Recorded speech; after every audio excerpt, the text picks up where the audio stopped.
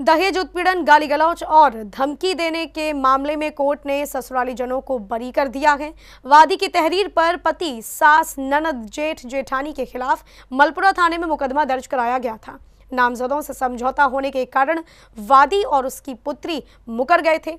सबूत के अभाव में कोर्ट ने बरी करने के आदेश दिए हैं। दहेज उत्पीड़न गाली गलौज और धमकी के मामले में कोर्ट ने ससुराली जनों को बरी कर दिया है। वादी और उसकी पुत्री के गवाही से मुकरने पर राहत मिली है। गाँव पचावर, महावन, मथुरा के रहने वाले रामबाबू ने मलपुरा थाने में मुकदमा लिखाया था, जिसमें आरोप लगाया था कि उसकी पुत्री शिल्पी उर्फ़ हेमलता की शादी अनूप कुमार निवासी विपत्ति नगर, धनौली, मलपुरा के साथ 25 नवंबर 2020 को हुई थी। दहेज से संतुष्ट न होने पर वादी की पुत्री का ससुराली जन उत्पीड़न करने लगे। मायके से दो लाख रुपए लाने का दबाव बनाया गया। मांग पूरी न होने पर आरोपियों ने वादी की पुत्री को 19 फरवरी 2022 को दूध में जहर देकर मारने का प्रयास किया था। मुकदमे के विचारण के दौरान वादी और उसकी पुत्री का आरोपियों से समझौता हो गया और पूर्व बयान से मुकर गई। एसीजेएम दो बटेश्वर कुमार ने सबूत के अभाव और आरोपियों के वरिष्ठ अधिवक्ता अखिलेश कुमार यादव के तर्क पर पति, सास, नंद, जेठ, जेठानी को बरी करने के आदेश दिए हैं। सी न्यूज़ के लिए उमेश शर्मा की रिपोर्ट।